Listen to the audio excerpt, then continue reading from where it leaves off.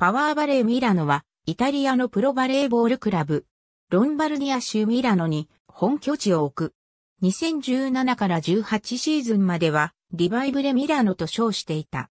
2010年にパワーバレーボールとして設立された。2010-11にセリエ B2 に出場し、シーズンの終わりにすぐに昇進した。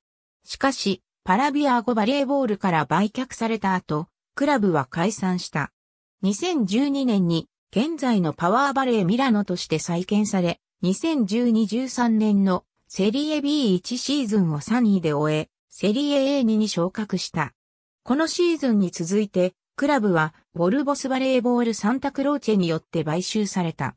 2013-14セリエ A2 シーズンでは、6位で順位を終えた。シーズンの終わり、クラブは3回目の売却となり、カッディポスポルトに買収された。2014-15シーズン、パワーバレーはスーパーレガに初めて加入した。最初のシーズンを12位でトップフライトで終え、次のシーズンでは11位で順位を終えた。2017から18シーズンには初めてコッパイタリアに進出し、16ラウンドで出場した。2018から19シーズンに躍進した結果のおかげでヨーロッパ大会であるセブ、チャレンジカップ2019から20への出場権を得た。ありがとうございます。